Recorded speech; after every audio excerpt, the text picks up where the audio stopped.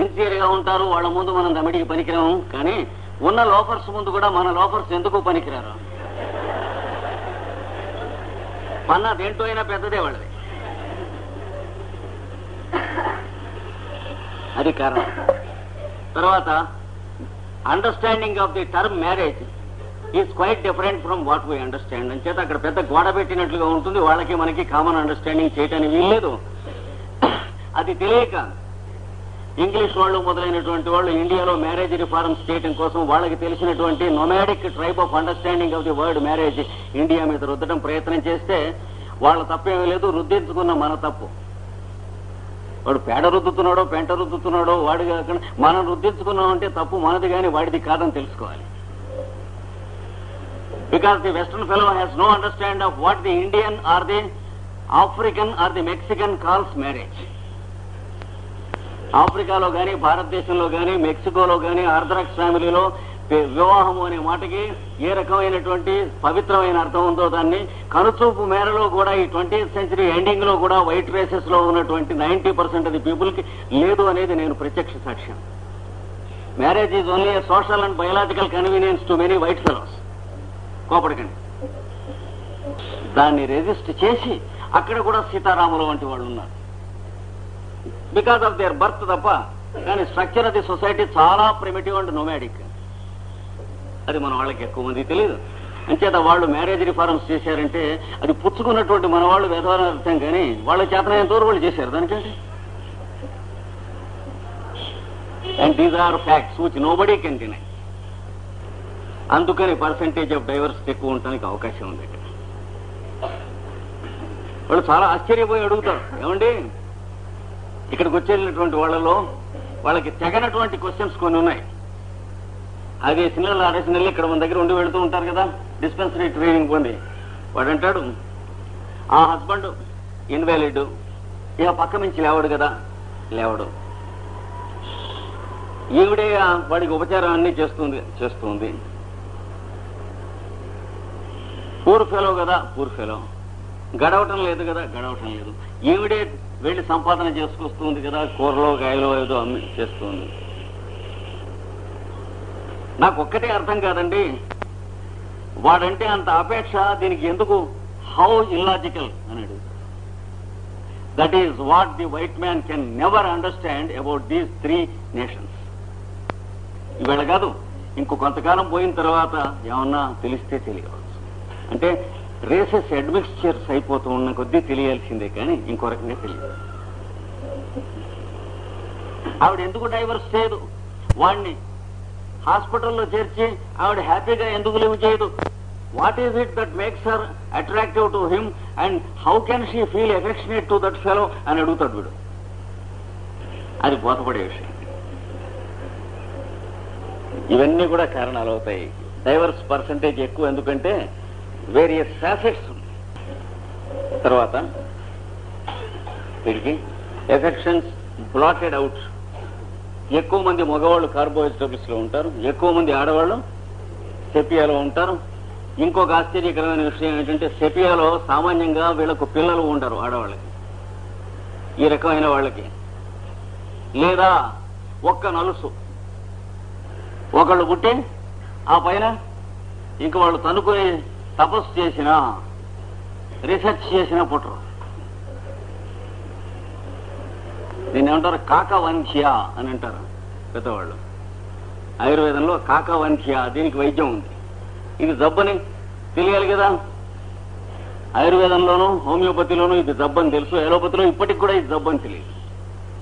My- mind ఇలా ఉంటాం అనేటువంటిది. పిల్లవాడు పొద్దున్నే కాలేజీకి వెళ్ళాల్సి వస్తే హోటల్కి వెళ్ళి టిఫిన్ తిని కాఫీ తాగి వెళ్ళు.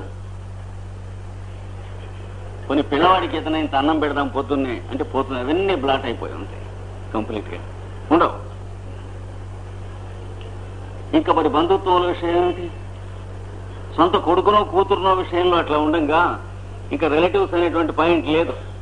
అంటే ఆయిల్ ఎలా అయితే హరించుకొని పోతుందో అలాగే ఎఫెక్షన్స్ అనేటువంటివి సోరా వల్ల సంపూర్ణంగా హరించుకొని పోతాయి. It is a strange phenomena అయితే మొగాళ్ళలోనూ సెపియా వాళ్ళు ఉంటారు కొంతమంది ఆడవాళ్ళలోనూ కార్బోహైడ్రేట్స్ వాళ్ళు ఉంటారు కొంతమంది. కానీ ప్రాబబిలిటీ ఎక్కువ మొగాళ్ళలో కార్బోహైడ్రేట్స్ వాళ్ళు ఆడవాళ్ళలో సెపియా వాళ్ళు ఎక్కువ మంది ఉంటారు.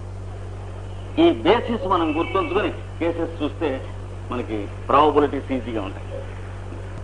ఇంకా ఇంకోటి ఎంత ఉంటాడు ఇక్కడ. Horrible things or pleasant things do not affect them అంటే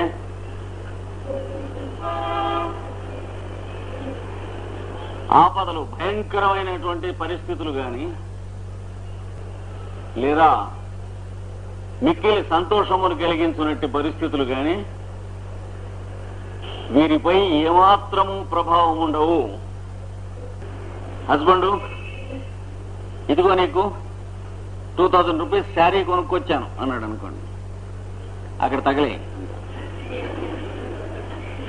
టిపికల్గా ఇదే సెంటెన్స్ వస్తుంది ఆన్సర్ అట్ నుంచి ఏం చేత లోపల లాజిక్ ఎలా పనిచేస్తుందంటే వీడు కొనుక్కొచ్చాడు అనేటువంటి పేరు కోసం అని చెప్పి తీసుకొచ్చాడు ఆ పేరు వీడికి ఉండాలని చెప్పి see how vicious and cricket the fellow is అది లాజిక్ వాళ్ళకుండే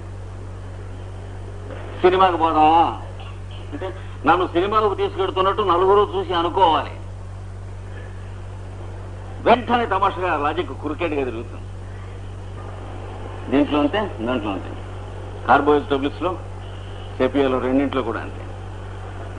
అంటే మీరు ఏం చెప్పినా సరే ఎంత ఎఫెక్షనేట్గా మీరు చెప్పినా సరే వెంటనే అడ్డం తిరుగుతున్నాం ఎక్కడికైనా వెళుతూ ఉంటే కూడా తీసుకెళ్దాం అని అనుకుంటూ ఉంటే నా మీద మీకు అనుమానం ఇంటి దగ్గర ఉంటే కూడా కూడా తీసుకెడుతున్నారు అంటుంది. పోనీ నువ్వు ఇంటి దగ్గర ఉండు. ఎనడు ఏ మళ్ళీ పిలవ ఎందుకు అనుమానం అని చెప్పి ఏడుస్తుంది ఎందుకు వచ్చింది అని అంటే ఇల్లు పట్టించుకో. ఆఫీస్కి వెళ్ళిన తర్వాత ఊరంతా తిరుగుతావు రాత్రి తిరిగి వస్తావు. నీకు అసలు ఇల్లు కానీ భార్య కానీ ఇలాంటివి అక్కర్లేదు. దిస్ ఈస్ టిపికల్ సెపియా కనుక ఏ డ్రగ్ క్యారికేచర్ ఆ డ్రగ్ వేరే గుర్తుండాలి అదే మగవాళ్ళు. కార్బోహైడ్రేట్స్ కానీ సెపియా కానీ ఇంటికి రాగానే అందరు నలుగురు చుట్టూ చేరితే ఇంటికి వచ్చానో లేదో ప్రాణం పీకేస్తున్నారు. పదండి పదండి దూరంగా. పోనీ పాపం. ఆయన గారు ఇంటికి వచ్చేటికి ఎందుకు ఊరికే నలుగురు గొడవ చేయటం అని ఆ గది తలుపు గదిలో అన్ని అరేంజ్ చేసి తీసి ఉంచి ఎక్కడ వాళ్ళక్కడ కాముగా ఉంటారు. వచ్చి ఆ గదిలోకి వచ్చి అటు ఇటు తిరిగి చూసి ఇంట్లో మనుషులు ఉన్నారా? చచ్చారా అదే అంత. ఏమంటే అసలు మనుషులు ఉన్న ఇళ్ళలే ఉండదు. వస్తూ ఉంటే వెడుతూ ఉంటే ఏం లక్ష్యం లేదు పట్టించుకుంటాం లేదు. I hate to come to this house this is health ఇది మగవాళ్ళ సెపియాను మగవాళ్ళ లేదు ఇంట్లోకి వస్తే పలకరించలేదు అని ఉంటుంది. పలకరిస్తే ఇంట్లోకి రాగానే పిశాచాలలే ప్రాణం తీసేస్తారు. ఇవి గుర్తుంచుకోండి రెండు డ్రగ్స్ పక్క పక్కన. అంటే హారిబుల్ స్టేట్ మనుషులు దూరాన కనిపించి కనుచూపు మేరలో క్యాన్సర్ గాని పక్షవాతం గాని గ్యాంగ్రెన్ గాని జలోదరం గాని అతి భీకరం అయినటువంటి దుర్నివారము అయినటువంటి దూరం నుంచి తేరి కళ్ళతో ఇట చూడటానికి కూడా వీలు లేనంత క్షుద్రంగా బాధ పెట్టేటువంటి వ్యాధి పది పన్నెండేళ్ళ దూరంలో ఉన్నది అని దానికి ముందు ఉన్నటువంటి మెంటల్ డిసీజ్ ఇది. నెక్స్ట్ కెంట్ ఇంకో సెంటెన్స్ చెప్పాడు. దీని గురించే. He does not know if he loves his fellows he does not know if he loves his fellows అంటే తన వాళ్ళని భార్య బిడ్డల్ని భర్త పిల్లల్ని వాళ్ళ ఎందు తనకు అపేక్షలు ఉన్నావో లేవో తనకే బోధపడదు. ఒంటరిగా కూర్చుని ఆలోచించుకున్నా కూడా బోధపడదు. అంటే అక్కడ వాయిడ్ ఉంటుంది వ్యాక్యూమ్ ఉంటుంది. ఏం బోధపడుతుంది? ఈ ఊర్లోనే తొమ్మిది సంవత్సరాల కిందట ఇట్లాంటి లేడీ ఒక ఆమెకు సెపియా ఫిఫ్టీ ఎం వేశాం. Single dose. సంవత్సరం తిరిగి వచ్చేటప్పటికి సమస్త పరివారంతో చక్కగా యాత్రలు చేసి వచ్చింది మనవల్ని కూడా తీసుకుని. అంటే మరొక మనిషి పొడగెట్టేది కాదు ఆ గదిలోకి రావటానికి. తన గది వేరే పెట్టుకుంది హస్బెండ్ కూడా లోపలికి రానివ్వలేదు. అలాగా సంవత్సరాలు గడిచింది. Nobody should enter my room అద్దం ముట్టుకుంటానే వీల్లేదు దువ్వెన ముట్టుకుంటానే వీల్లేదు బొట్టు పెట్టి ముట్టుకుంటానే వీల్లేదు. పౌడర్ ఫేస్ పౌడర్ డబ్బా. లోపలికి ఎవరు రావటానికి వీలేదు తనవి వేరే ఉంటాయి. అయిపోతే చూడకపోతే ఎవరన్నా తేకపోతే వాళ్ళని చంపి దుంప దింపేసేసి రెండు మూడు రోజులు తిని- తినేస్తుంది. రీప్లేస్ చేసి ఒళ్ళు దగ్గర పెట్టుకుని చేస్తూ ఉండాలి. ఎవళ్ళు మళ్ళీ వాటిని వాడటం కానీ ముట్టుకుంటాం కానీ తన సామాన్లు తన అంటే ఒంటి పులి రాకాశి అంటారు అలా అయిపోతారు. అది హైయెస్ట్ ఎగ్జాంపుల్ టిపికల్ కెంట్ చెప్పిన ఎగ్జాంపుల్ లాగా సరిపోతేను హైయెస్ట్ పొటెన్సీ వేశాం. వేస్తే అలాగా నెల రోజులు అయ్యేటప్పటికి పలకరించడం మొదలెట్టింది మనల్ని ఏరా? అప్పుడు ఇన్నాళ్ళు అయిన తర్వాత. ఏంటంటే "ఆ, తింటున్నా అంటే తింటున్నా మాటండి రెండు మూడేళ్ళు అయ్యేటికి ఆరు నెలలు అయ్యేటప్పటికి ఆమ్ తింటా గామ్ తాగుతా తిను తిను. పట్టి- పట్టిస్తుంది అనమాట ఎట్లా వస్తాయో వాటికి చెట్టుకి చిగురుటాకులు వచ్చినట్లు వస్తాయి వసంత ఋతువు వచ్చేటప్పటికి. అంతకు ముందు మనం ఫిబ్రవరి జనవరిలో చూస్తే ఒట్టి మూడులాగా ఉన్నటువంటి దానికి ఎక్కడి నుంచి వస్తాయో తెలియదు చూడండి అలా వస్తాయి. ముసల కిసలా అయితే అన్నాడు వెంటనే వస్తాయి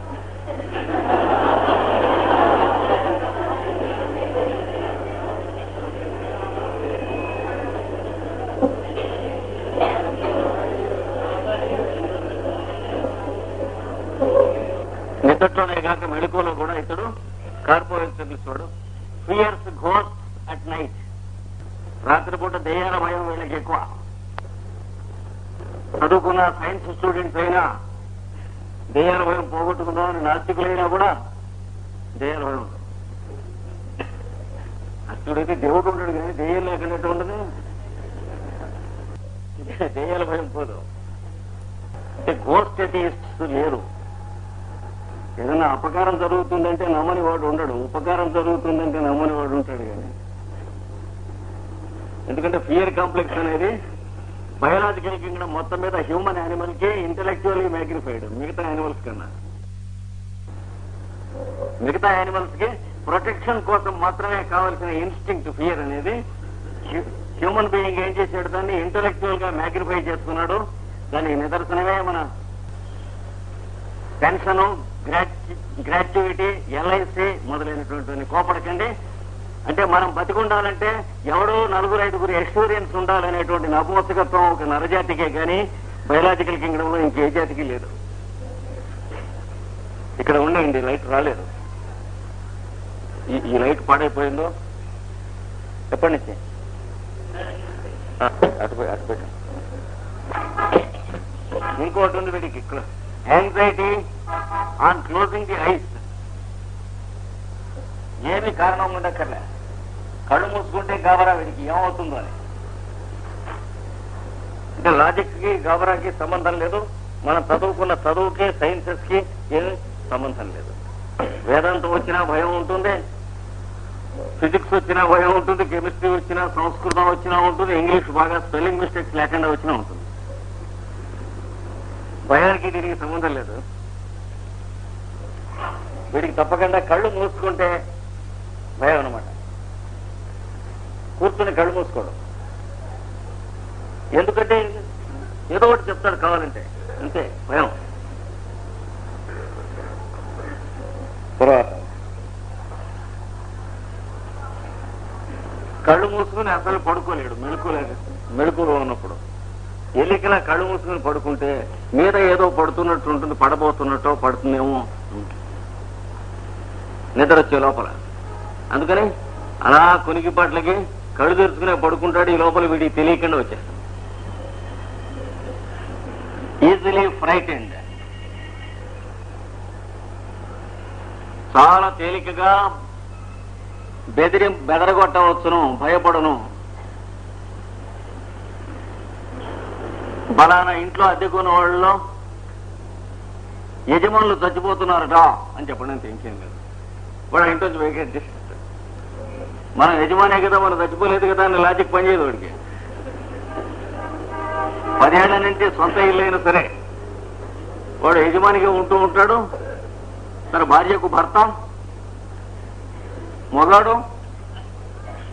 మరి డబుల్ డిగ్రీ ఉంది. ఇన్ని ఉండి పదేళ్ళు ఆ ఇంట్లో ఉన్నాక ఈ ఈ ఇంటి వస్తువును బట్టి యజమాని చనిపోతాడు అని ఊరికే ఎవరినైనా చెప్పానండి తప్పకుండా ఖాళీ చేసి ఎవడికో అతికొస్తాడు పోతే వాడు పోతాడని. ఇవి కార్బోహైడ్రేట్ టబ్లెట్స్ మొదలైన వాళ్ళందరికీ వస్తాయి. సామాన్యంగా ఉంటాయి కార్బోహైడ్రేట్ టబ్లెట్స్ వాడికి ఈ లక్షణాలు. కనుక ఈజీలీ ఫ్రైటెండ్ మీ ఇష్టం. ఏదో ఒకటి చెప్పండి. వాడికి కీడు చెబితే తప్పకుండా బిలీవ్ చేస్తాడు. మీరు మంచి చేస్తే ఏమీ లాభం లేదు.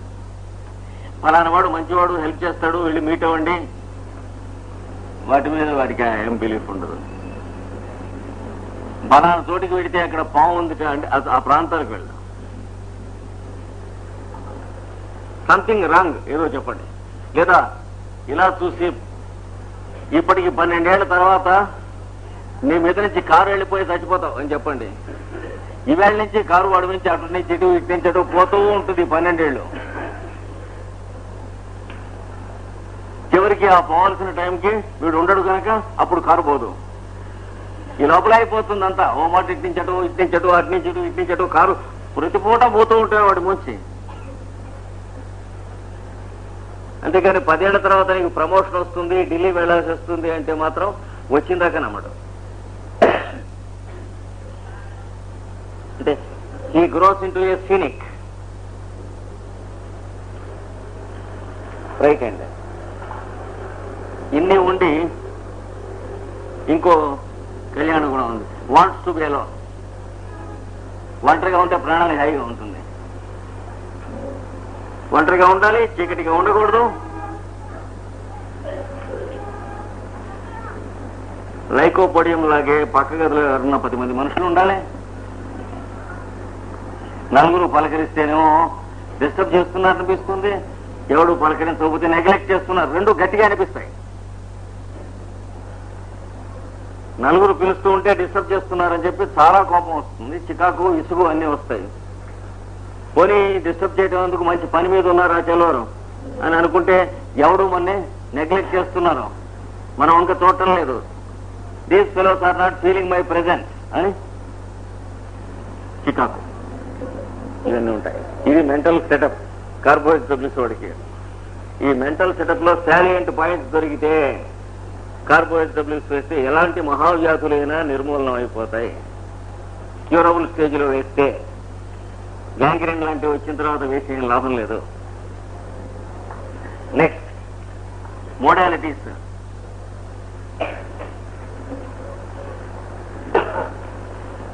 మొట్టమొదటిది సిమ్టమ్స్ కమ్ మనస్సులో వేదనలను బాధలను చాలా నిదానముగా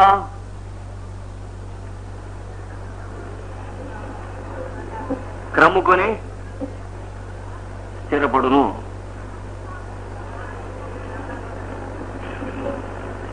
అంటే ప్రాణం పోయేట్టుగా వస్తుంది చూడండి.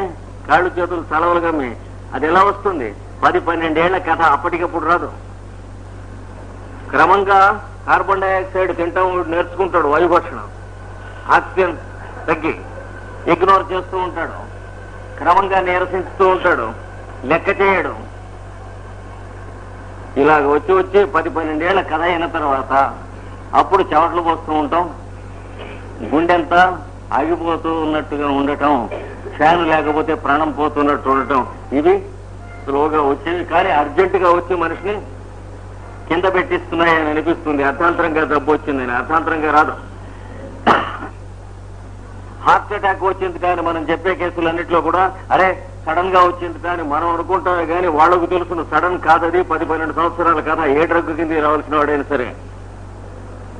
అంటే నేచరు ప్రొటెక్ట్ చేయడానికి ట్రై చేస్తూ ఉంటే వాటిని పోను ఇంకా అపచారాలు చేసి ఫౌల్ గేమ్ ప్లే చేయగా చేయగా చేయగా చేయగా చెట్ట చివరికి శరీరం భరించలేక వచ్చేటువంటి దాన్ని హార్ట్ అటాక్ అంటాం కానీ సడన్గా హార్ట్ అటాక్ రాదు.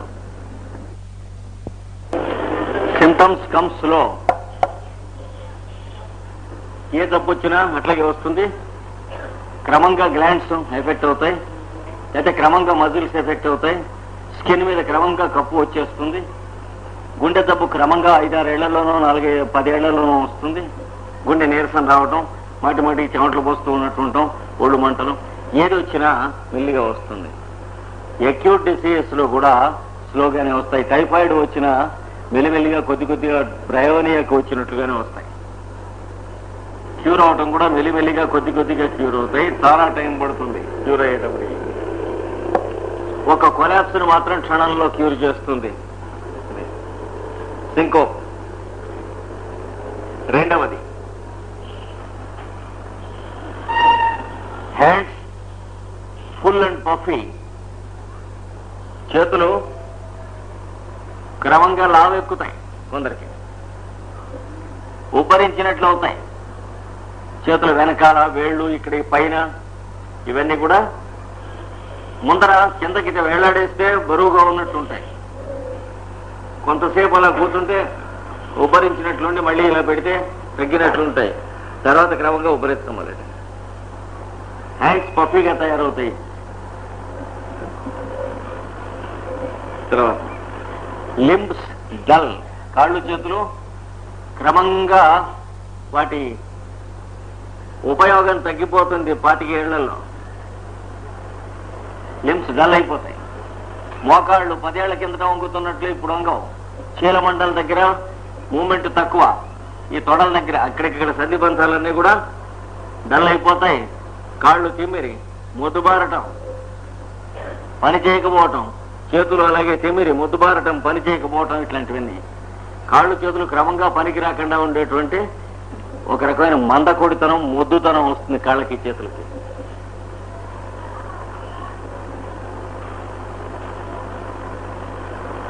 Blood stops flowing in to the limbs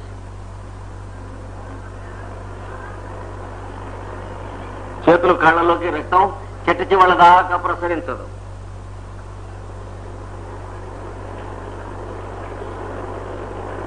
అంటే వీడు ఏదైనా సాధన చేస్తే గానీ కొంత దూరం వెళ్ళి అక్కడ దాకా చివరి దాకా ఫ్లో అయ్యేటువంటి శక్తిని కోల్పోతుంది బ్లడ్ అందుకని మందకొడిగా ఏర్పడుతుంది.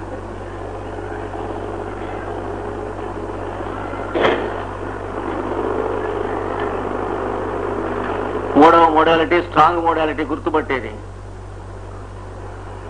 వాడికి ఇష్టమైనటువంటి ఆహార పదార్థం కానీ పానీయం కానీ చూస్తే వాడి మొహంలో ఒక రకమైనటువంటి ఉత్సాహంతో ఉన్న రంగు మారి ముఖం ఎర్రబడును. అది కార్బోహైడ్రేట్స్ వాడికి ఉంటుంది. విస్తట్లో వాడికి కావాల్సింది వడ్డిస్తూ ఉంటే ముఖంలో కలర్ టక్ అని చేంజ్ అవుతుంది. ఏమంటారు కెంట్ చెప్పాడు. Stimulating food makes face flush and purple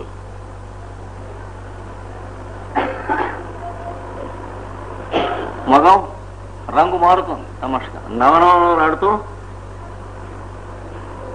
నీలంగా ఎర్రగా తయారవుతుంది. ఆవేశపూరితంగా ఉన్నటువంటి ఒక మొహంగా తయారవుతుంది. చూస్తే. అలా ఆ ఒక పరవశత్వం కనిపిస్తుంది మొగం రంగులో. అన్నిటికంటే ఏమిటి ఇష్టం వీడికి? ద్రాక్ష పళ్ళు పచ్చివి వాటిని చూస్తే నల్ల ద్రాక్ష పళ్ళని చూస్తే గుడ్లు నల్ల ద్రాక్ష పళ్ళవే. మెలమెల ఆడతాయి. ఇంకొంచెం మొగాడు కనుకైతే ద్రాక్ష సారాయము చూచినచో మొగం సంతోషంతో ఎర్రబడును. ఇది సంసారపక్షమైన వాళ్ళకి అది కొంచెం విశేషమైన వాళ్ళు వాళ్ళ ఇష్టం. They can choose between the two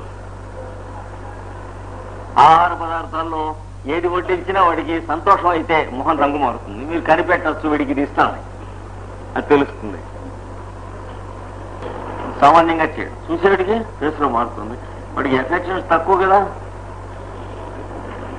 అంటే ఏది ఇచ్చినా సంతోషించడం అనేటువంటిది ఉండదు. మొహంలో రంగు మారటమే కానీ ఎక్కువ భాగం.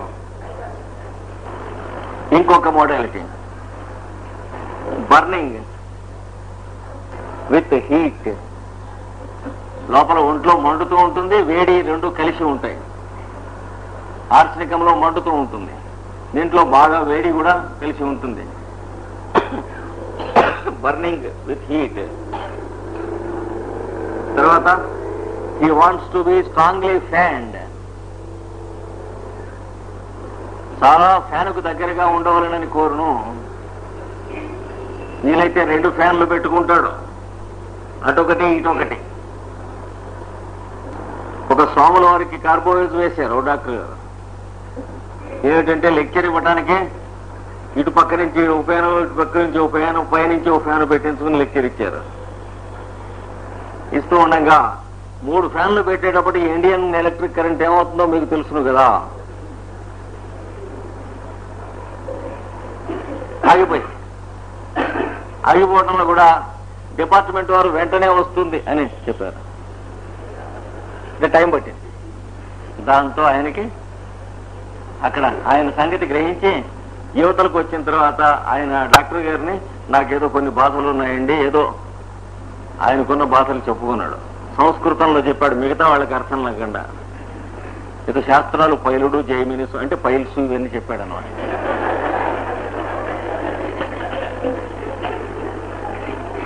ఈ లెక్చర్ జరుగుతున్నంతసేపు డాక్టర్ గారు అబ్జర్వ్ చేసిన దాని మీద డ్రగ్ రోడ్ చేసుకుని ఉన్నాడు. ఈ చెప్పినంతా ఊరికే వింటూ ఉంటే ఈ చెవిని పడి ఆ చెవిని వెళ్ళిపోతుంది. అయిపోయింది డిసైడ్ చేయడం కార్బోహైడ్రేట్ అదే ఏదో మందు వేశాడు. తర్వాత ఆయన ఆహా ఏమై బ్రహ్మాండంగా పనిచేసింది నాయన నువ్వు ఇచ్చిన మందు ఫైల్ అంటే తగ్గాయి. ఇంకా వేడి తగ్గింది. ఏమంట తగ్గింది. ఫ్యాన్ అన్ని ఎక్కలే మూడు ఎక్కర్లేదు మనిషికి ఉన్నట్టు ఓటో రెండు. ఏం వేశారు డాక్టర్ గారు అంటే అడగక్కర్లేదు. మీరు ఏదైనా ఊహించితే చాలన్నారు. అడిగితే పక్కన చెప్పాడు కార్బోహైడ్రేట్ వేశారా? అని పాపం అడిగాడు ఆయన శిష్యుల్లో ఒకడు. నిస్సందేహంగా కార్బోహైడ్రేట్ అది నువ్వు అడగకపోతే నీ తప్పు. నేను అది వేసి ఉండకపోతే నా తప్పు అని చెప్పాడు. అంత క్లియర్గా కనిపించిన సిమ్టమ్స్ అన్ని తగ్గిపోయినాయి ఫైల్స్ దగ్గర నుంచి. కనుక వాడు వాంట్స్ టు బి ఫ్యాండ్ ఒక ఆయన ఫైల్స్ బాధపడలేక కోపడకండి కాళ్ళు రెండు పడ కుర్చీలో పెట్టుకుని అడుగున పడ కుర్చీ కింద నుంచి ఫ్యాన్ పెట్టుకుంటారు. అంటే కార్బోహైడ్రేట్స్ తప్ప ఇంకొకటి కాదురా అని అర్థం. ఏమిటో అక్కడ ఫ్యాన్ పెట్టుకున్నాను అని అడిగితే అలా నిద్రపట్టేసిందండి లేకపోతే నిద్రపట్టలేదు అన్నాడు. టిపికల్ కార్బోహైడ్రేట్ ఇంకా I wants icy cold things మంచుగడ్డతో కలిపిన చల్లని వస్తువులు కావాలి. లేదా మనుషుల ఒంటి మీద పెట్టండి అంటాడు చేతి మీద. కాబట్టి నెక్స్ట్ డే కరాలు దీనికి ఏమిటి ఉంటుంది? కొలా. అంటే చనిపోబోతున్నాడు నాడి లాగేస్తూ ఉన్నది ఒళ్ళు చల్లబడిపోయింది అన్న కేసుల్లో ఇది కావాల్సి వస్తుంది. ఈ సిమ్టమ్స్ అన్ని సరిపోతున్నాయి కదా? ఆ లక్షణాలు ఉండి కొలా. అంటే చనిపోబోతున్నాడు నాడి లాగేస్తూ ఉన్నది ఒళ్ళు చల్లబడిపోయింది అన్న కేసుల్లో ఇది కావాల్సి వస్తుంది. ఈ సిమ్టమ్స్ అన్ని సరిపోతున్నాయి కదా? ఆ లక్షణాలు ఉండి చనిపోబోతూ ఉంటే ఈ డ్రగ్ వేయాలి. కనుక కొలాబ్ కోల్డ్ బ్రెత్. శ్వాస చల్లగా ఉంటుంది వేలడ్డం పెట్టి చూస్తే. ఒకడు వేల దాకా రాదు. ముక్కు దగ్గర దారం పెట్టి చూస్తా. అంటే ఇంకా ఉన్నాడా లేడా? చూడటానికి. స్వెట్. Cold sweat. చల్లని చెమట. Cold face. చల్లని ముఖము ఆ కొలాప్స్ అవుతున్న వాడు కూడా వాంట్స్ టు బి ఫ్యాన్ వాడు అంతే. గాలి గాలి గాలి అంటాడు. మళ్ళా పట్రా.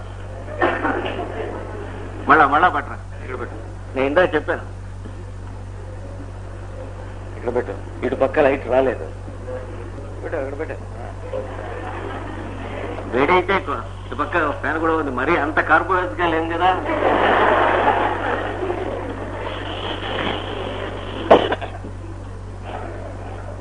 వీడు కూడా అంతే. గాలి గాలి అంటాడు. Next next modality easy bleeding త్వరగా బ్లీడింగ్ వస్తుంది కానీ బ్లీడింగ్ చాలా స్కాంటీ ఎక్కడ పడితే అక్కడ తేలిగ్గా రక్తం వస్తుంది. ఒక బొట్టు వచ్చి అక్కడ ఎండిపోయి పేడు కట్టేస్తుంది. Easy bleeding oozing of blood from inflamed surfaces oozing of blood from inflamed surfaces అంటే ఒరిసినట్టే ప్రదేశముల నుండి రక్తము. ఏమవుతుంది? ఊజింగ్ అంటే ఏమిటి?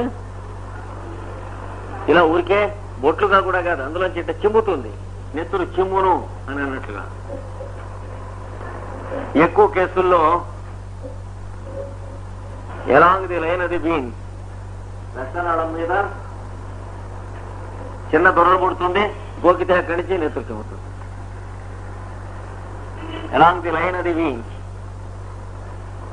there will be little hard ulcer చిన్న చిన్న చిన్నవి గట్టిగా కాయల్లాగా ఉంటాయి. తర్వాత ఎక్కువ ప్రాబబిలిటీ శుభ్రమైన బ్రెడ్ ఎక్కువ కేసుల్లో రాదు. బ్లాకిష్ బ్లూయిష్ బ్రీడింగ్ ఆ వచ్చిన రక్తం నల్ల నల్లగా కానీ నీల నీలంగా కానీ ఉంటుంది. మనిషికే కప్పు వేసేస్తుంది కదా రక్తం ఎలా ఉంటుంది?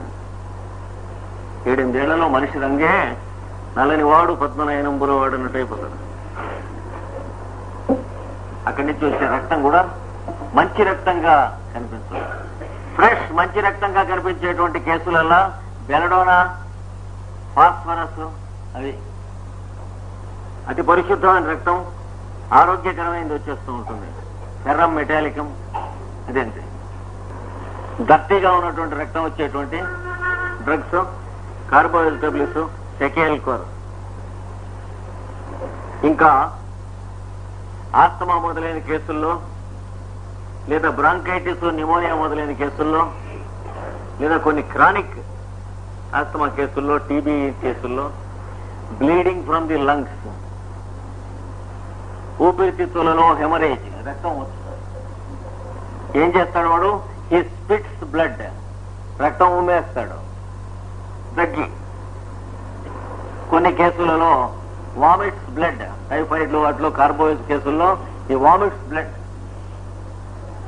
రక్తం క్రక్కును మళ్ళీ వేస్తే బతికితే చాలా మంది బతుకుతారు ఇందులో. నల్లగా అంటే నల్ల నల్లగా. మామూలు రక్తం అని తెలుస్తూ బాగానే ఉంటుంది. మామూలు రక్తం రంగు ఉండదు. కొంచెం రక్తం నల్లపు జీర కలిసి ఉంటుంది. దీంట్లోనే కరాలరీ లేడీస్కి ఒక స్పెషల్ పారాగ్రాఫ్ నోట్ చేసుకోండి. Little blood oozing. బయట ఉన్నప్పుడు కొద్ది కొద్దిగా కొద్ది కొద్దిగా రక్తం చిమ్ముతూ ఉంటుంది. దాంతోపాటు మెన్సెస్ ప్రొలాంగ్డ్. ఋతుకాలము ఐదు రోజులు ఆరు రోజులు పది రోజులు పన్నెండు రోజులు అలా కొద్దిగా కనిపిస్తూ ఉంటుంది. మెన్సెస్ ప్రొలాంగ్డ్ ఇది నక్స్వామిక కూడా ఉన్నది కానీ మిగతా లక్షణాలకి దీనికి సరిపోదు నక్స్వామిక తెలుస్తుంది అందుకని వేరే. నక్స్వామిక లక్షణాలు వేరు దీని లక్షణాలు వేరు. ఇలాగే లేడీస్లో ఇంకో కేసు. డెలివరీ అయిన తర్వాత ఈ లక్షణాలు ఉన్న కావాలి. After confinement. ప్రసవించిన తర్వాత ఇదే లక్షణములునను కార్బోహైడ్రేట్స్ ఇలాగే ఆడవాళ్ళకైనా మగవాళ్ళకైనా సరే ఆఫ్టర్ సర్జరీ శస్త్రచికిత్స జరిగిన తరువాత అంటే ప్రభుత్వ ఆసుపత్రిలో శస్త్రచికిత్స చేయించుకున్నారనుకోండి ఈ ప్రభుత్వ ఆసుపత్రిలో పనిచేస్తున్న డాక్టర్లందరూ పెట్టినటువంటి క్లినిక్స్లో నర్సింగ్ హోమ్స్లో మీరు చేయించుకోకపోతే వాళ్ళకి కోపం వస్తుంది. అప్పుడు ఊదు అవుతూనే ఉంటుంది అవ్వకుండా ఉండదు. కోపడు కానీ కోపడు లాభం లేదు. అన్ని ఊళ్ళలో ప్రభుత్వ ఆసుపత్రి మందులు ఆ నర్సింగ్ హోమ్లో పుష్కలంగా దొరుకుతాయి కానీ ఆసుపత్రిలో ఉండవు. అందుకని వెంటనే మెడిసిన్స్ దొరకాల్సిన అక్కడే. అట్లాంటి చోట ఆపరేషన్ చేయించుకోకుండా హాస్పిటల్లో ఆపరేషన్ చేసుకుంటే పరుపు కుట్టినట్టు కుట్టి లాగేసి తాకా వేసినట్టు తీసేసుకుంటుంది దాని మీద రక్తం అట్లా బొట్టు పడుతూ ఉంటుంది. అట్లాంటప్పుడు వాడికి అలాగ మంట పుట్టేస్తూ ఉంటుంది. ఒళ్ళంతా తాపం ఫ్యాన్ గట్టిగా వేయండి చెమట. కార్బోహైడ్రేట్ వేస్తే అది రెక్టిఫై అవుతుంది ఇది రెక్టిఫై అవుతుంది. కనుక పోస్ట్ ఆపరేటెడ్ కేసెస్లో జ్ఞాపకం ఉంచుకోవాల్సిన డ్రగ్స్లో ఫాస్ఫరస్తో పాటు కార్బోహైడ్రబుల్స్ క్యాఫిసాగ్రియా ఫాస్ఫరస్ కార్బోహైడ్రబుల్స్ క్యాఫిసాగ్రియా ఆర్నికా రూస్టాక్స్ ఆర్థిక ఆబ్లం హైపరికం. ఇట్లా ఈ గ్రూప్ ఆఫ్ డ్రగ్స్ అన్ని జ్ఞాపకం ఉంచుకోవాలి. కనుక ఆపరేషన్ తర్వాత ట్రీట్మెంట్ చేయవలసి వచ్చి కేసు సతమతం అయిపోయినట్లయితే అలా బ్లడ్ యూజ్ అవుతూ ఉంటుంది. ఐదారు రోజులు అలా పక్కలో డ్రాప్ డ్రాప్ పడుతూ ఉంటుంది. పక్కన ఎక్కడ ఆపరేట్ చేసినా చూసుకోరు ఐదారు రోజుల తర్వాత బెడ్ అంతా తడిసిపోయింది. అప్పుడు చూసుకుంటారు నరసమ్మ. అంటే ఇంత రక్తం పోయిన తర్వాత వాడికి మళ్ళీ కట్టు కట్టారంటే ఇంత రక్తం మళ్ళీ పోయిరుగా వాళ్ళు? ప్రభుత్వ ఆసుపత్రిలో ఉంటే ఎక్కడి నుంచి తెచ్చిపోస్తారో? చాలా చికాకు అవుతుంది. అలాంటప్పుడు కార్బోహైడ్రేట్ టాబ్లెట్స్ వేసి శుభ్రంగా తర్వాత ట్రీట్మెంట్ మొదలుపెట్టారు. అలా డెబిలిటేట్ అయిపోతారు. ఆపరేషన్ అయిన తర్వాత కేసులు. దాంట్లో కావాల్సి వస్తుంది నీరసించిపోతూ క్రమంగా లోపల నుంచి మంటలు తాపం పుడుతూ ఫ్యాన్ కావాల్సి ఒంటికి తలవలు గమ్మి ముట్టుకుంటే చల్లగా ఉన్నట్లయితే మాత్రం కార్బోహైడ్రేట్ అంటే objectively cold and subjectively hot ఉండాలి పేషెంట్కి. ఇవన్నీ. ఇలాగే ఇంకొక కేసుల్లో టైఫాయిడ్ రెండవ వారము లేక మూడవ వారంలో రాంగ్లీ ట్రీటెడ్ టైఫాయిడ్స్కి ఇంటస్టైనల్ హెమరేజెస్ వస్తాయి. ప్రేగులలో పెరఫొరేషన్ చిల్లుబడి రక్తస్రావం వస్తుంది. ఏం జరుగుతుంది? టెంపరేచర్ ప్రతి అర డిగ్రీ అర డిగ్రీ అర డిగ్రీ రెండు మూడు గంటల్లో దిగిపోయి పద్నాలుగు దిగి చచ్చిపోతారు ఉంటే ఆ దిగటం ఆగదు ఇంకా. ఎక్కడను. టర్మినస్తే మంచి హై లో ఉండగా నాటు వైద్యం జరుగుతూ ఉంటే ఒకడికి బ్లీడింగ్ మొదలెట్టింది టైఫాయిడ్లో మూడవ వారంలో. డాక్టర్ పేర్రాజు గారు ఇక్కడే ఉండేవారు. బతికున్నారు. ఆయన ఎరుగున్నటువంటి పేషెంట్. ఆయన్ని గబగబా వచ్చి పేషెంట్ బాగులేదండి ఓ మాట చూడండి. అక్కడ ఆ టైంకి నేను కూడా మాట్లాడుతూ ఉన్నా ఇద్దరం కలిసి వెళ్ళాం. వెడితే బ్లీడింగ్ అవుతుంది. పేషెంట్కి నూట నాలుగు పాయింట్ ఐదు దగ్గర నుంచి నూట నాలుగు నూట మూడు నూట రెండు నూట ఒకటి నూరు దిగుతుంది. అలా దిగదు టైఫాయిడ్. ఇది బాగుపడి బట్ట కట్టేవాడికి. ఏం చేస్తుంది? దిగవలసిన టైంలో ఒక డిగ్రీ దిగి మళ్ళీ మర్నాడు అంతకంటే ఒక డిగ్రీ తక్కువ దిగి లోపల ఎక్కువ అవుతూ ఉంటుంది. దాన్ని ఏమంటారు? Ladder like decrease and increase టైఫాయిడ్లో. అది గుర్తుంచుకోవాలి. అది గుర్తుండకపోతే టైఫాయిడ్లో మెటాసిన్ దింపుడు. దింపితే మళ్ళీ రెండు చోట్ల ఊరికే ట్రై చేయటానికి దింపటం. అంటే నూరు ఒకటి పాయింట్ ఐదు. ఇలా మొదటి రోజున మొదలెట్టింది అనుకోండి టైఫాయిడ్ రాసుకోవద్దు. రాసుకోవద్దు ఓకే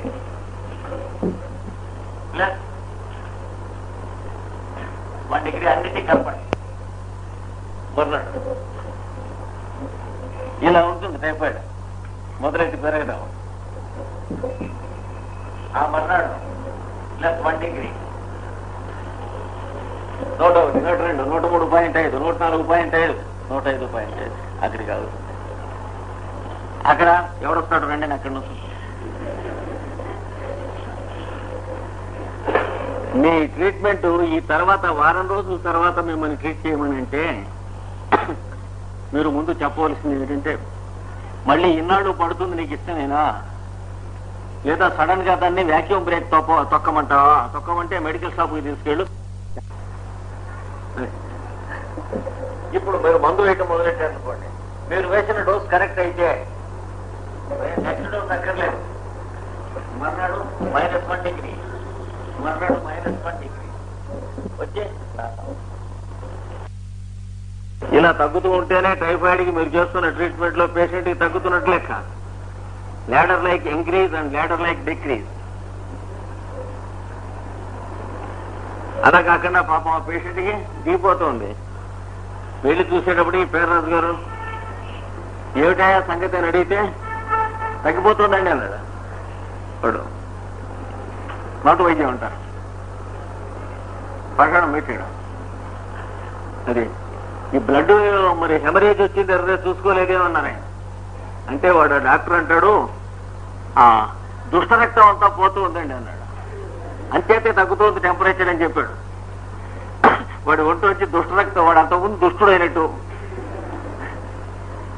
దుష్టరక్తం అంతా పోతుంది టెంపరేచర్ అందుకే తగ్గుతుంది అన్నాడు. అయ్యి వీడి ముందు ఇమీడియట్గా వాడిని రిమూవ్ చేయండి అని కేజీ హాస్పిటల్ రిమూవ్ చేయించి అక్కడ ట్రీట్మెంట్ పెట్టి సెలైన్ గిలైన్ పెట్టిస్తే సచ్చి చెడి ఛాయం గల విన్నపాలు పదిహేను రోజుల తర్వాత వాడు బతుకుతాడని చెప్పారు. కనుక టెంపరేచర్ ఆపోటే పైనుంచి కిందికి డౌన్ అవుతూ ఉందంటే వాడు మళ్ళీ అప్ పేషెంట్ టైఫాయిడ్ ఇది చూసుకోవాలి. సరే టైఫాయిడ్ కేసుల్లో కూడా తో కూడిన కేసుల్లో కార్బోయిడ్ కేసులు కానీ ఇందాక చెప్పినటువంటి ఫాస్ఫరస్ కేసులు కానీ హెమరేజ్తో కూడిన కేసులు. లెకసిస్ కేసులు కానీ రక్తస్రావంతో కూడినటువంటి కేసుల్లో టైఫాయిడ్ లేదు ఇవన్నీ గుర్తుంచుకోవాలి. వరుస అదో గ్రూప్ అనమాట టైఫాయిడ్ అలాగే కొంతమందికి ఐ హెమరేజ్ కన్ను.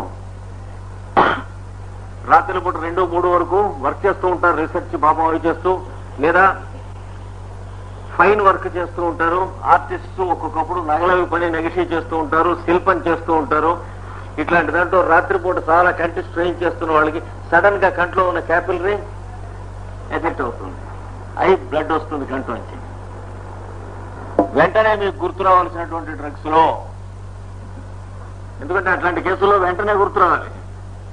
ఆగండి పంచాంగం చూస్తామని లాభం లేదు కార్బోహైడ్రేట్స్ కానీ ఫెరం ఫాస్ఫర్ ఫాస్ఫరికం కానీ ఫెరం మెటాలికం కానీ చైనా కానీ ఆరం న్యూరియాటికం కానీ నేట్రం యూరియాటికం కానీ నేట్రమూరం. సామాన్యంగా వీటిలో ఏదో ఒకటి అయి ఉంటుంది. రూటా కూడా కలుపుకోవాలి రూస్టాక్స్ కూడా కలుపుకోవాలి కానీ రూస్టాక్స్ కానీ వెంటనే హెమరేజ్ కట్టడం ఒకటే కాకుండా ఎక్కడ హెమరేజ్ వచ్చిందో అక్కడ గడ్డు గాని కాయ గాని తర్వాత ఉత్తర ఉత్తర కన్ను పోగొట్టేటువంటిది ప్రారంభం కాకుండా ఉండాలి. అందుకని ఇండికేటెడ్ డ్రగ్ జాగ్రత్తగా చూసి తర్వాత సెలెక్ట్ చేసి వేయాలి ముందు హెమరేజ్కి వీటిలో ఏదో ఒకటి ఇండికేట్ అవుతుంది. వేశాక అదే వాడికి ఇండికేటెడ్ డ్రగ్ కనుక అయితే ఆఫ్టర్ ఎఫెక్ట్స్ లేకుండా క్యూర్ చేసేస్తుంది. అది కాకపోయినట్లయితే హెమరేజ్ వరకు కంట్రోల్ చేసి కంట్లో చిట్టం కట్టేస్తుంది కనుక తర్వాత ట్రీట్మెంట్ జాగ్రత్తగా పర్సూ చేయాలి చాలా కాలం. నెక్స్ట్ మోడాలిటీ మోటల్డ్ స్కిన్ చర్మం మీద? దేనికి ఉంటాయి? ఏ డ్రగ్స్ ఉంటాయని చెప్పాం ఆర్నిక దానికి ఎలా ఉంటాయి? ఎర్రగా ఉంటాయి. దీనికి పర్పుల్ కలర్లో ఉంటాయి. నీల నీలంగా నల్ల నల్లగా ఉంటాయి. చుక్కలు ఒంటి మీద. అదే రకమైన చుక్కలు గ్రాఫైటిస్కు కూడా ఉంటాయి. ఇదే రకం. బ్రాకెట్స్లో గ్రాఫైటిస్ కూడా రాసుకోండి. మిగతా సిమ్టమ్స్ చూసుకోవాలి. శుభ్రంగా అదే రకంగా ఉంటాయి. కాకపోతే గ్రాఫైటిస్ కొంచెం పెద్ద మచ్చలు ఉంటాయి దీని సన్న సన్న సన్న ఉంటాయి అంతే తేడా ఇంకా లెక్కసెస్ కూడా ఉంటాయి. స్టాక్స్ కూడా ఉంటాయి. అదే రకమైన మచ్చలు. కాలు మీద నల్లని కరివేహం మచ్చలే వస్తాయి. చుక్కలు చుక్కలు చుక్కలుగా నల్లగా వచ్చేస్తాయి. లేదా ఒక్కప్పుడు కాలు మీద నీటితో కూడినటువంటి దుష్ట రక్తంతో కూడినటువంటి ఒక కురుపు అల్సర్ వస్తుంది. దాని మీద మచ్చలు మచ్చలుగా వస్తాయి. ఇవన్నీ ఈ దృష్టిలో లో ఏదో ఒక దాన్ని తెలియజేస్తాయి.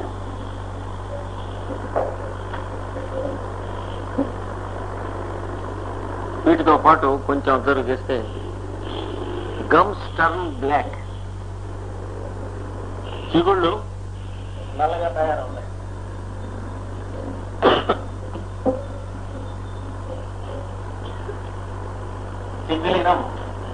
చిగుళ్ళు నల్లగా తయారయ్యేటువంటి డ్రగ్స్లో పక్కన గుర్తుండవలసిందే.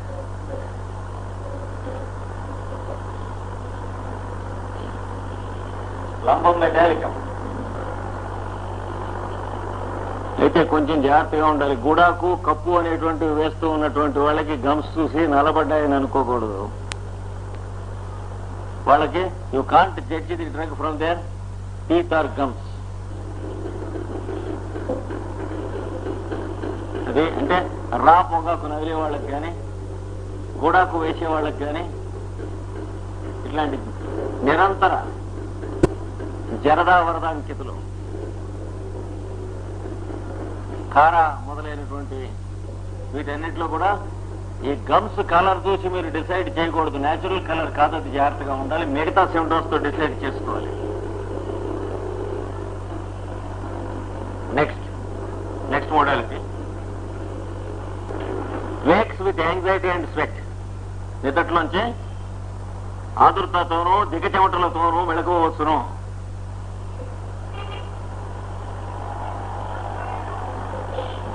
ఈ మోస్తరుగా సారా మాటలు వస్తుంది. వీడికి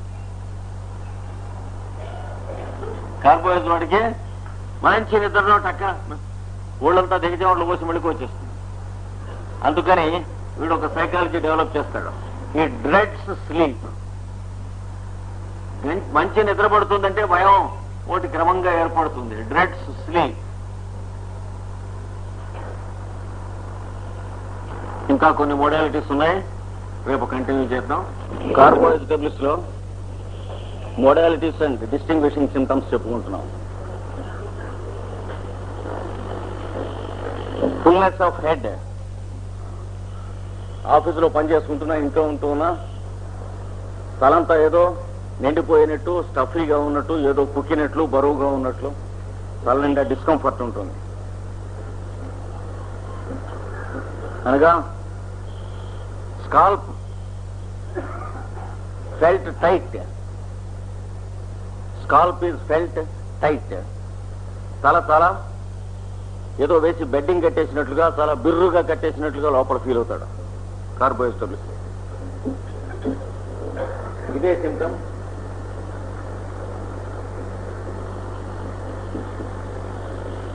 బ్యాసిల్లంలో కూడా ఉన్నది. ఇది ఒకటి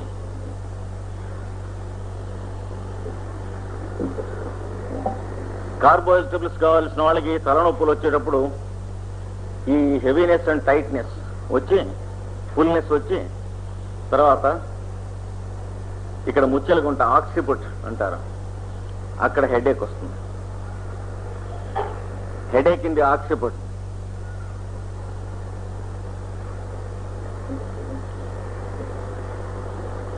ఈ హెడేక్ వచ్చినప్పుడు వీళ్ళు ది పేషెంట్ కెనాట్ మూవ్ కదలలేడు. అలా తగ్గిందాకా పడుకుని ఉంటాం. తల పొజిషన్ కూడా కదలట్లేడు ఈ ఫుల్నెస్ ఈ హెడేక్తో వాడు ఫీల్ అయ్యేది as if the head would burst లోపల నుంచి బయటికి తల బదలవుతుందేమో అనే సెన్సేషన్ ఉంటుంది. As if the head would burst వాడు ఇలా ఉంచితే హైగా ఫీల్ అవుతాడు. ముందుకి అంటే cannot lift the head up. తల పైకి ఎత్తుట చాలా బాధగా ఉండదు. వీటితో పాటు ప్రెషర్ ఓవర్ ది ఐస్. కళ్ళ మీద ఏదో పెట్టి నొక్కుతున్నట్లు. కళ్ళు గుడ్డు నొక్కేస్తున్నట్లుగా ఉంది. ఈ లక్షణాలలో జాగ్రత్తగా కనిపెట్టగలిగినట్లయితే ఇది కార్బోహైడ్రేట్లు సెడేక్ అని తెలుస్తుంది. ఇంకా మిగతా సిమ్టమ్స్ కూడా కొంచెం ఫ్యాన్ అది ఉంటే హైగా ఉంటాం ఇవన్నీ చూసుకోవాలి. ఈ లక్షణాలు ఉండి వీటితో పాటు ఒక్కొక్కప్పుడు హ్యామరింగ్ సెన్సేషన్. అంటే సుత్తెలతో కొడుతూ ఉన్నటువంటి బాధ లోపల సుత్తెలతో కొడుతున్నట్లుగా ఉంటుంది. లోపల తల లోపల. ఇన్ని లక్షణాలతో కూడినటువంటి మొత్తం కూడిన హెడేక్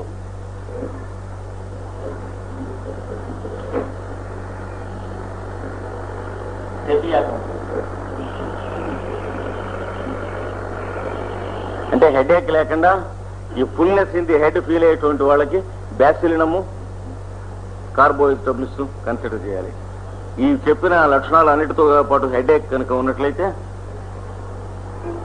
సెపియా కార్బోహైడ్రబ్లిస్ కన్సిడర్ చేయాలి. అక్యూట్ డిసీజెస్లో కానీ క్రానిక్ లాంగ్ స్టాండింగ్ హార్ట్ డిసీజెస్లో కానీ ఇంకొక సిమ్టమ్ ఉంటుంది వీడికి. అది అంటే ఇక్కడికి అయిపోయింది. హెడేక్కి సంబంధించిన లక్షణాలు అయిపోయినాయి. Next distinguishing symptom short quick breath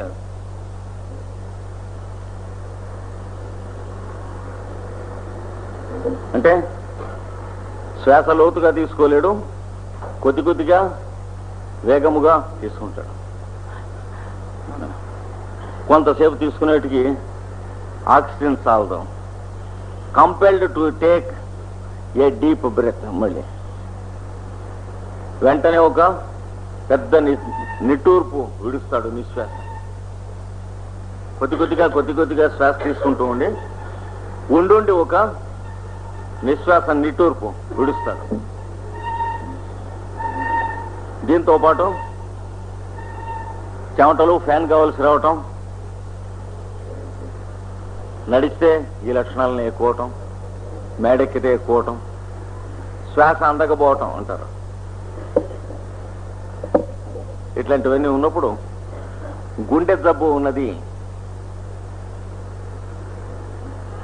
లేదా టైఫాయిడ్లు మొదలైనటువంటి వాటిలలో గుండె నీరసంగా ఉన్నది. గుండె జబ్బు ఉండక్కర్లే టైఫాయిడ్ వాటిలలో. లేదా గుండె జబ్బు లాంగ్ స్టాండింగ్గా ఉన్న వాళ్ళకి టైఫాయిడ్ మొదలైన జ్వరాలు రావక్కర్లే. మామూలుగా వాళ్ళ పనులు వాళ్ళు చేసుకుంటూనే నడవలేరు. ఏదో వెహికల్ మీద ఆఫీసులోకి వెళ్ళిపోతూ ఉంటారు కూర్చునే మెల్లిగా పని చేసుకుంటూ ఉంటారు. కొంచెం నడిస్తే ఈ లక్షణాలనే ఉంటాయి. అందుకని గుండె జబ్బులలో కూడా ఈ మందు ప్రత్యేకంగా జ్ఞాపకం ఉంచుకోవాల్సింది లక్షణాలు చూసి. చైనా ఒకటి కార్బోహైడ్రేట్స్ ఒకటి చాలా ప్యారలల్గా నడుస్తాయి గుండె జబ్బుల్లో. మిగతా కార్బన్ డ్రగ్స్ అన్నిట్లో చెప్పినట్లే? దీనికి కూడా? గ్లాండ్స్ సంకల్లో కానీ గజ్జల్లో కానీ మెడ కింద కానీ గడ్డం కింద కానీ గ్లాండ్స్ ఉబ్బరించడం నొప్పి చేయటం. ఎప్పుడో మటు గాలి వాళ్ళకి ఇట్లాంటివి బాగా నొప్పిగా చేస్తే వాటిని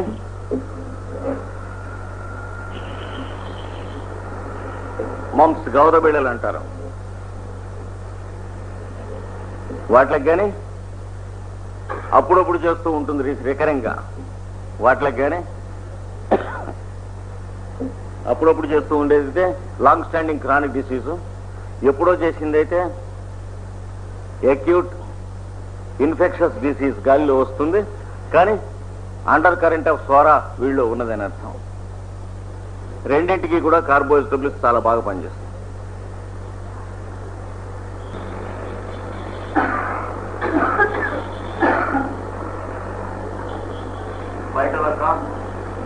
గౌత బిళ్ళలకి గాలికి వచ్చినటువంటి గ్లాండ్స్కి వీటికి గుర్తుండవలసినది.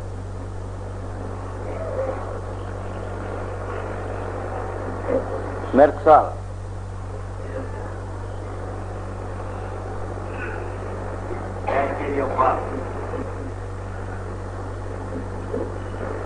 ఆర్సికా ఆల్బమ్ సెప్టిక్ కండిషన్ కానీ ఫీవర్ కానీ కలిసి ఉంటే. వీటిలలో దేని సిమ్టమ్స్ ఉన్నాయో చూసుకోవాలి. జాగ్రత్తగా.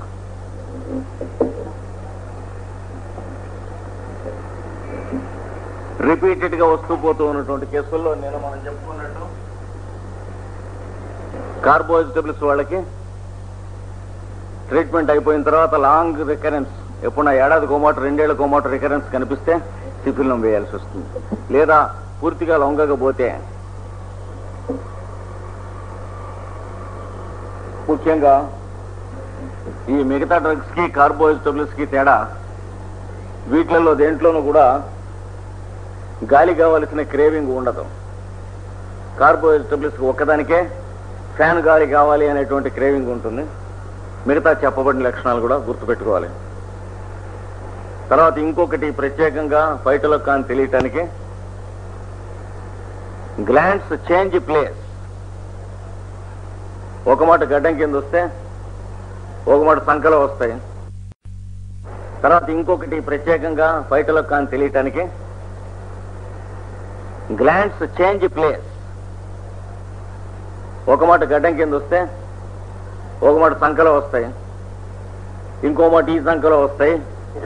ఒక ఐదారు నెలలు పోయిన తర్వాత గజల్లో వస్తాయి కురవడికి ప్లేస్ చేంజ్ చేసి అంటే ఒంట్లో ఉన్న లింఫాటిక్ సిస్టమ్ అంతా గ్రాడ్యువల్గా ఎఫెక్ట్ అయింది అని అర్థం.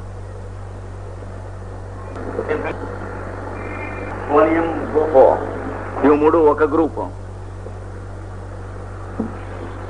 అంటే వీటికి తగ్గినట్టుండి మళ్ళీ వచ్చేస్తూ ఉండి మెంటల్ సిమ్టమ్స్ సిఫిలిటిక్ మయాజం ఇవి ఉండి రికవరీ లేకుండా హెల్త్ ఉన్నట్లయితే.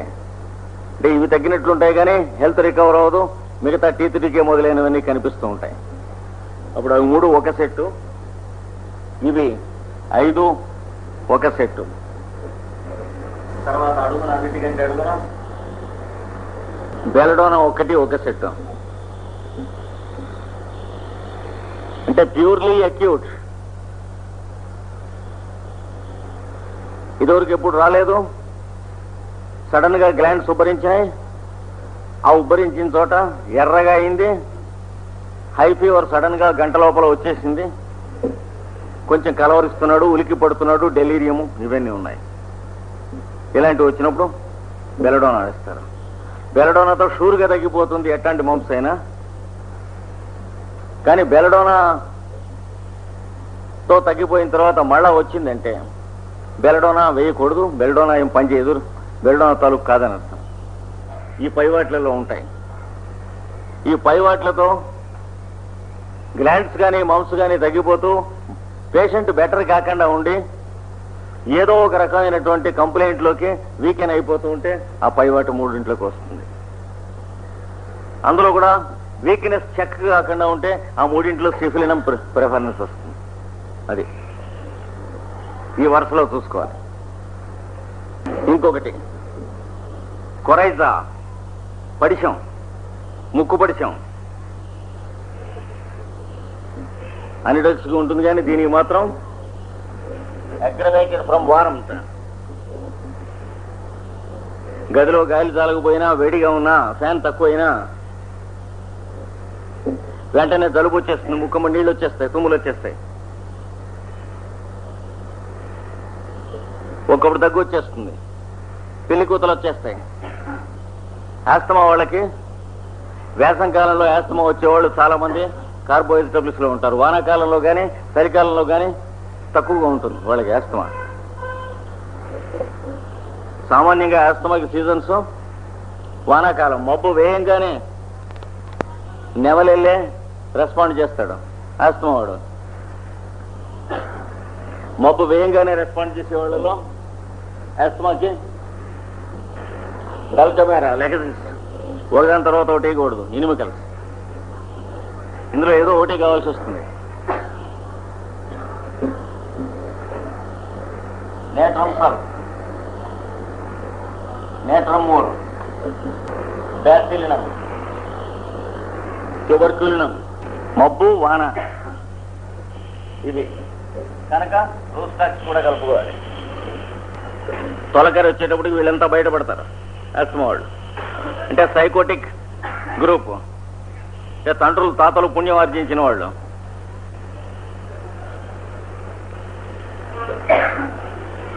Rhus tox dulcamara లెగసిస్ natrum sulph natrum mur bacillinum tuberculinum మబ్బు వాన తలస్నానం నదిలో తడవటం ఇట్లాంటివన్నీ. ఇంకో గ్రూప్ చలిగాలి వింటరు.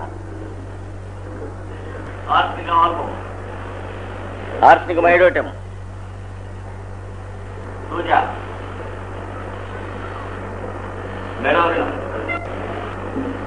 ఇది ఒక గ్రూప్. అంటే సైకోటిక్ తాలూకు ఫ్యామిలీ సెల్ రెండు. కొంతమంది వింటర్లో ఎక్కువ రెస్పాండ్ చేస్తారు. కొంతమంది వానాకాలంలో ఎక్కువ రెస్పాండ్ చేస్తారు. కొంతమంది సమ్మర్లో asthma. Carbo vegetables calcarea carbo bryonia మళ్ళా నేట్రమూరు అక్కడ కూడా. సల్ఫరు. ఇదో గ్రూప్ అంటే రఫ్గా ఈ మూడు గ్రూపులు వేరే వేరే గుర్తుంటే డ్రగ్ సెలక్షన్లో కొంత సదుపాయం ఉంటుంది. క్యాల్కేరియా కార్ ఈ వింటర్లో ఆస్తమా వచ్చే వాళ్ళలో ఇది కూడా కలుపుకోండి. క్యాలికార్ప చలిగాలి వింటరు వస్తూ ఉంటే ఆస్తమా వస్తుంది. ఆస్తమా గనక ఇతర పద్ధతుల్లో కంట్రోల్ చేస్తే అంటే మనిషి క్యూర్ కాకుండా ఆస్తమా క్యూర్ అయితే జాయింట్స్ పట్టుకుపోతాయి వీడికి. అంటే నాలుగైదేళ్ళు ఆస్తమా వెనకబడి రొమాటిక్ కండిషన్స్ వచ్చేసి మంచాన పడతాడు క్యాలికార్పువాడు మళ్ళీ రొమాటిజంకి కనుక ఏదైనా మందిస్తే కొంచెం తేలిగ్గా తిరగటం మొదలెట్టంగానే ఆస్తమా మళ్ళీ వాళ్ళకి క్యాలికార్పుతో ట్రీట్ చేయాలి.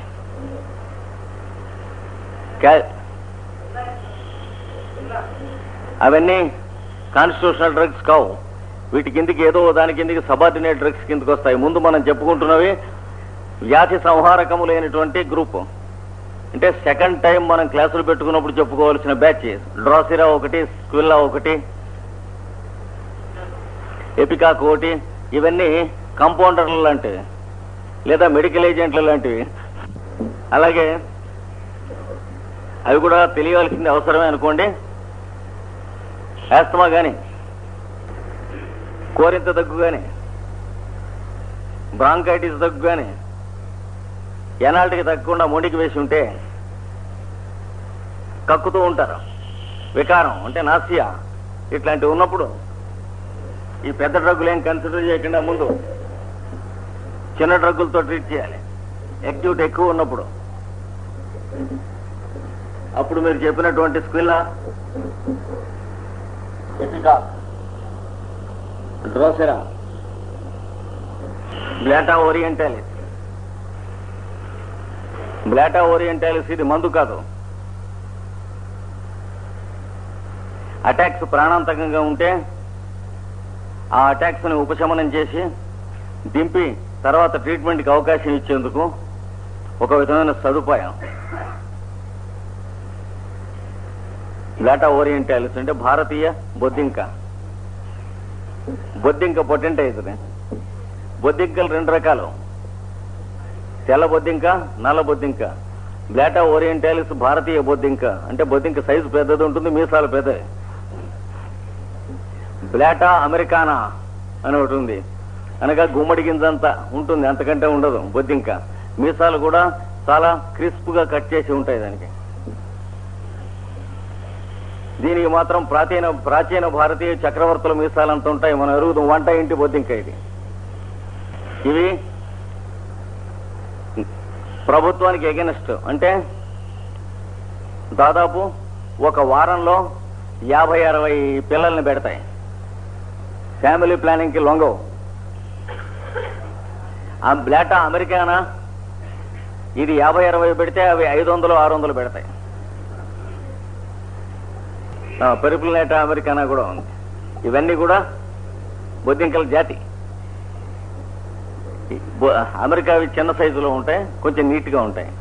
అమెరికా వాళ్ళలాగా ఈ హిప్పీస్ గిప్పీస్ లాగా స్నానం చేయకుండా మొదపు కంపు కొడుతూ ఉండవు.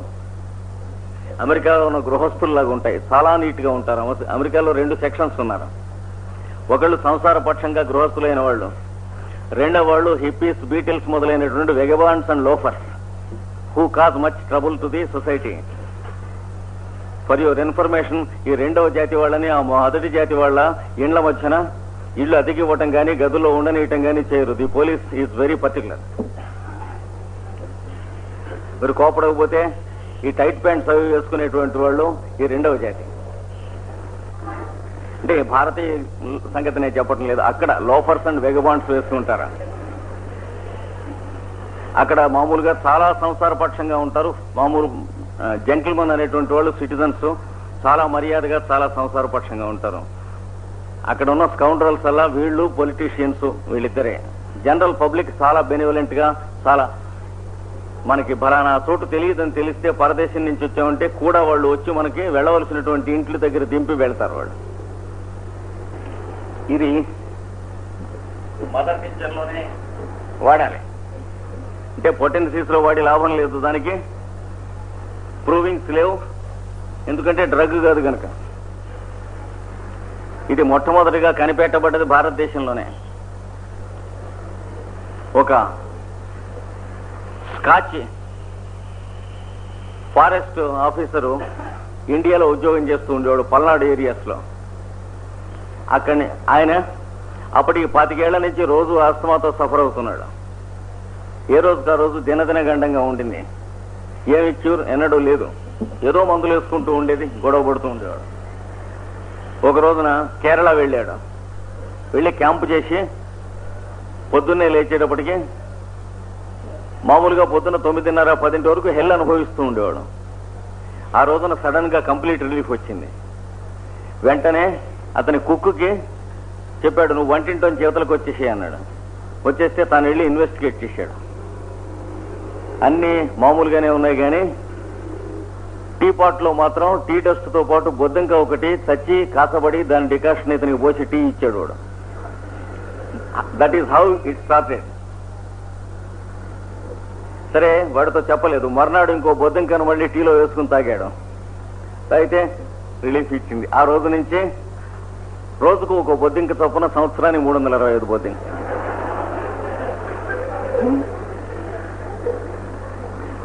అలా that is how the treatment of blatta orientalis started కానీ కొన్ని వేల సంవత్సరాల నుంచి మీరు కేరళలో ఉన్నటువంటి ప్రాంతీయమైనటువంటి నేటివ్ వైద్యంలో చూస్తే యాస్తమాకి కిళ్ళి ఇస్తారు.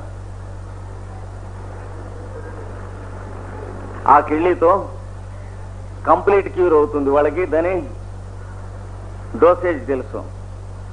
కిళ్ళిలో ఏం వేస్తారో చెబితే పుచ్చుకోలేరు. అంచేత చాలా టాప్ సీక్రెట్గా ఉంచుతారు. ఒక్క పచ్చకర్పూరం ఏలకాయ లవంగం కుంకుమ పువ్వు అన్ని వేస్తారు అందులో. పెర్ఫ్యూమ్ వేసి.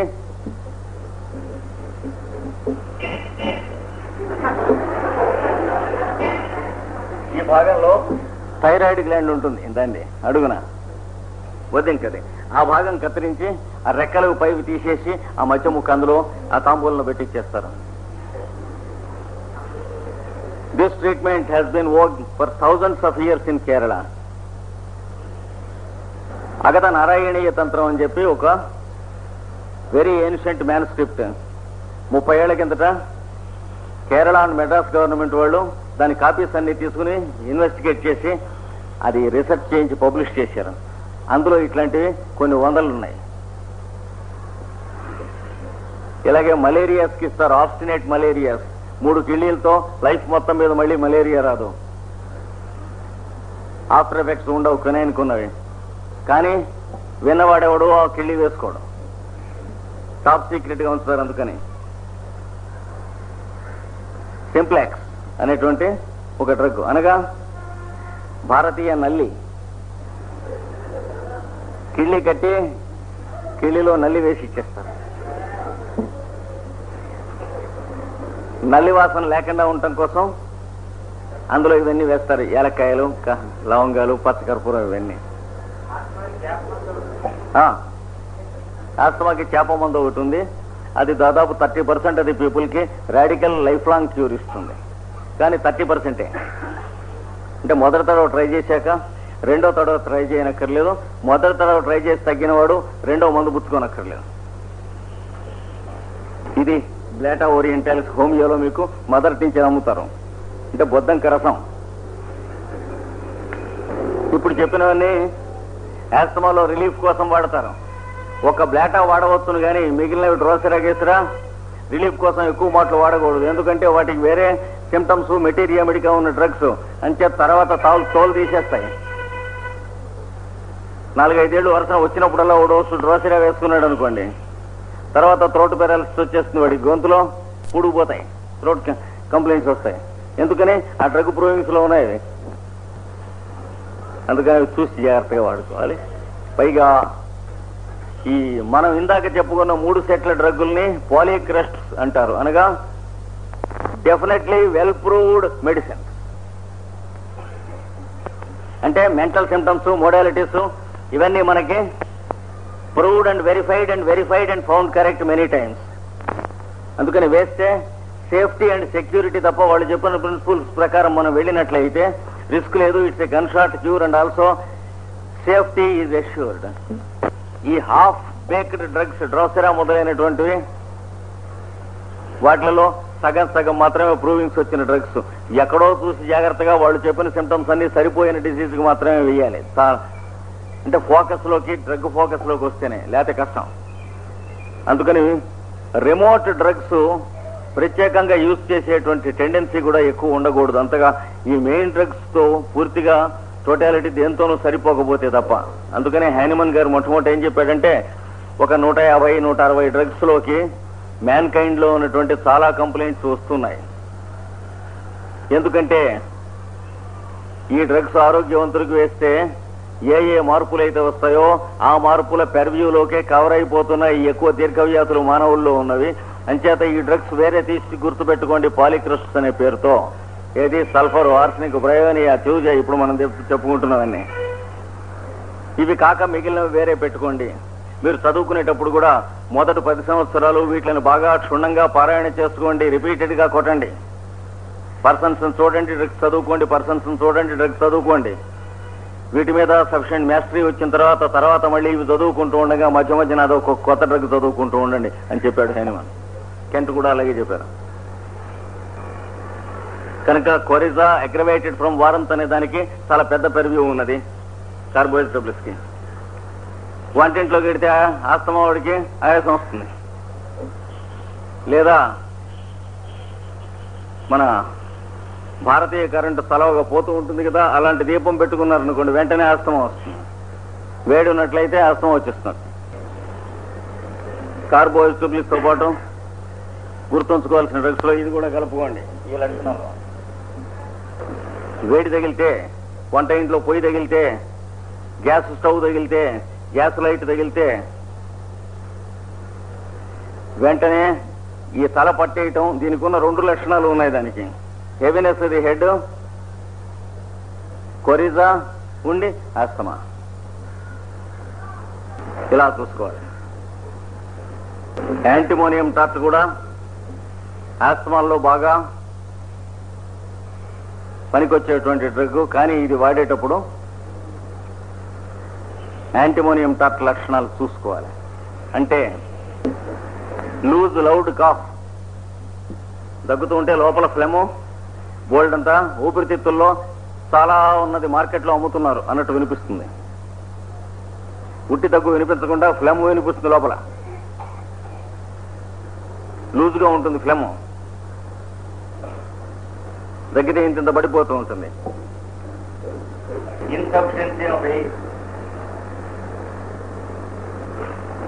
గాలి పీల్చినా కూడా అంటే నిట్టూర్పు దీర్ఘ నిశ్వాసం చేసిన లోపల కావలసినటువంటి జిల్లాల్లోకి ఆక్సిజన్ అందటం లేదు అనిపిస్తుంది. అంటే